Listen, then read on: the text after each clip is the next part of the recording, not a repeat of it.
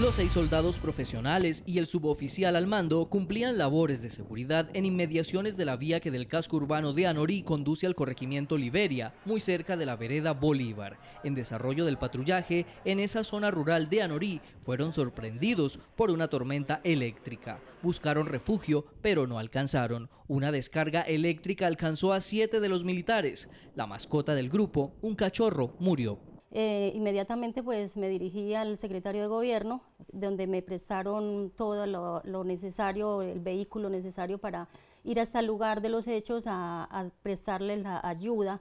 Los socorristas encontraron a los militares con quemaduras y laceraciones en las manos y los pies. Algunos manifestaban desorientación. El accidente que ocurrió a las 5 y 30 de la tarde de ayer domingo está situado a dos horas del casco urbano de Anorí. Estaban cuatro de ellos eh, muy afectados, eh, muy dolidos, con quemaduras en los pies, en los brazos.